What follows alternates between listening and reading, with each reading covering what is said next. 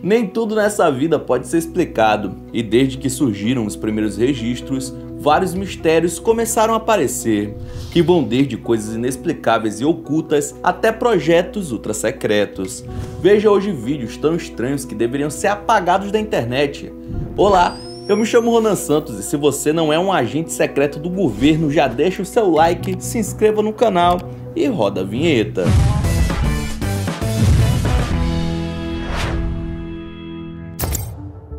Stan Romanek é um americano que afirma ter quase 200 arquivos comprovando a existência de vida inteligente fora do planeta. Mais do que isso, ele diz já ter tido contato com esses seres desde os anos 2000. Mas foi a história, homem. Stan vem catalogando provas de que os alienígenas estão entre nós desde então. Ele possui vídeos de um ser humanoide espiando sua casa pela janela e até mesmo um em que um suposto alien aparece dentro da sua casa. Oh my god, what's it doing? Oh my god. Oh my god. I can't believe it. O contato com os aliens teria começado desde que ele viu um OVNI seguindo seu carro todos os dias ao ir e voltar do trabalho. Foi então que o homem começou a escutar vozes como se fossem uma tentativa de contato telepático. Mesmo se tornando um nome bastante popular da ufologia no mundo todo, Stan se sente perseguido e diz que o governo tentou calar várias vezes. Em 2014, Romanek foi preso por ter conteúdo impróprio em seu computador. Ele foi condenado, teve que pagar multa e prestar serviço social, mas além disso, foi proibido de usar qualquer PC que não for monitorado pelo governo pelo resto da sua vida, o que muitos suspeitam ser mais uma medida para não ter a liberdade de mostrar ao mundo tudo o que ele sabe. Segundo as teorias, as mãos de reptilianos são o que mais entrega se aquela pessoa é ou não humana. E é justamente por isso que começaram a suspeitar desse homem que estava jogando basquete. Dá só uma olhada.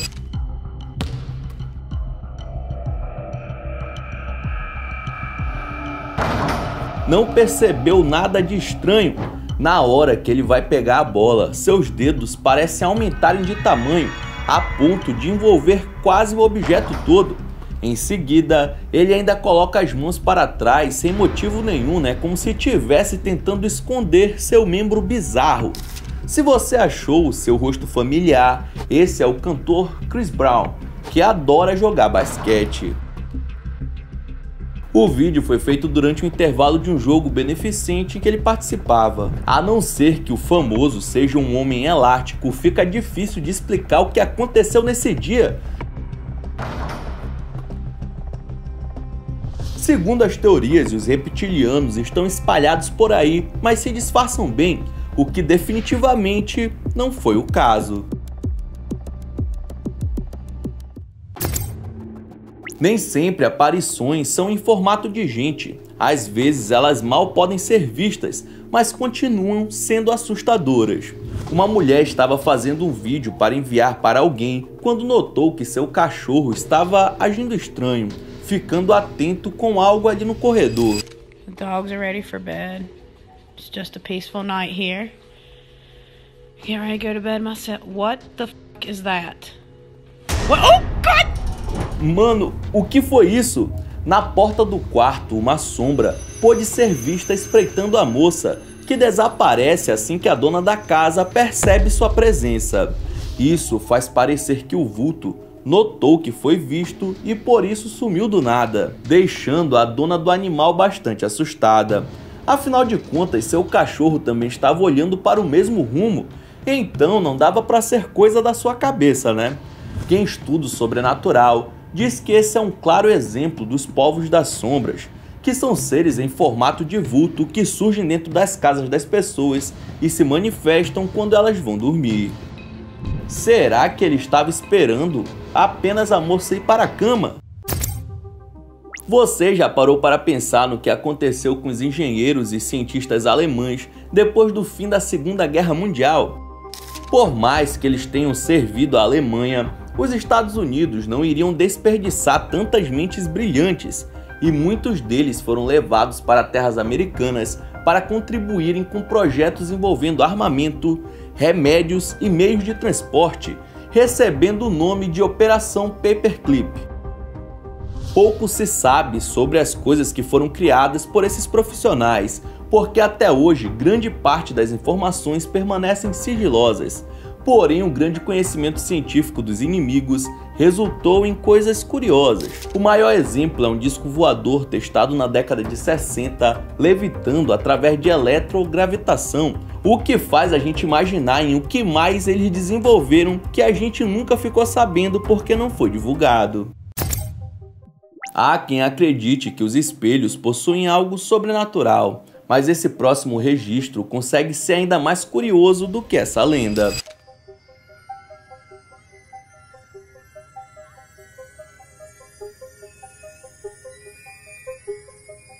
É isso mesmo que eu tô vendo. A mulher está se maquiando segurando um espelho invisível? Como assim, mano? Ela é louca, essa mina é maluca. A jovem passa alguns minutos encarando sua mão, o que fez muita gente sugerir que essa é a prova de que vivemos em uma simulação e que às vezes ela falha. O que você acha que aconteceu? Deixe sua opinião aqui nos comentários. Na Malásia, uma pessoa que estava na orla da praia flagrou algo que até agora ninguém conseguiu explicar do que se trata.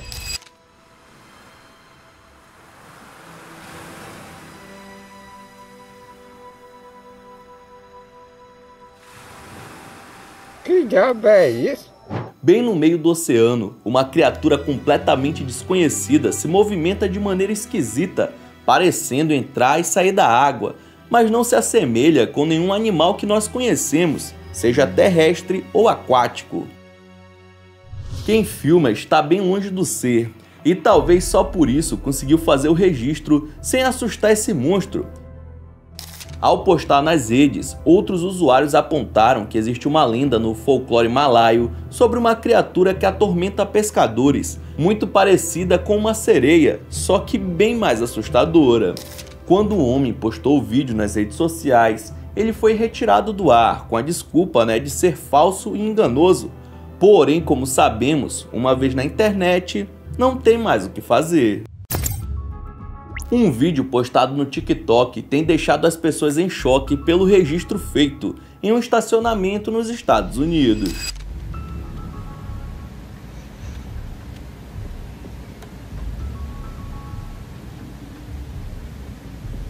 É possível notar uma criatura completamente estranha que age de maneira ainda mais esquisita, ficando imóvel por um bom tempo. Ao postar o vídeo, quem gravou disse não ter conseguido identificar do que se trata e pediu ajuda aos seguidores que sugeriram ser um skinwalker ou até mesmo um chupacabra. Isso é coisa do satanás? Um grupo de amigos dirigia no interior de Illinois em 2004 quando viram um rancho abandonado e resolveram explorar o local. Só que a aventura não durou muito tempo, já que eles descobriram não estarem tão sozinhos quanto imaginavam.